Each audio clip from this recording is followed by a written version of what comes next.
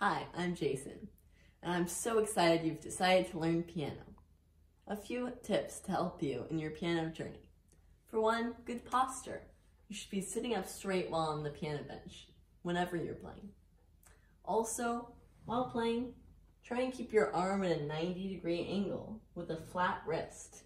You can move the bench around to help you with this. You can also play with your fingers curved and use the tips of your fingers to play. New stuff, new songs, new piano pieces are going to be very difficult, so you're going to make some mistakes. But remember that you're improving your brain, not just learning a new skill. Try breaking it into little pieces, like measures, to help you and practice each of those at a time. Keep at it and have fun.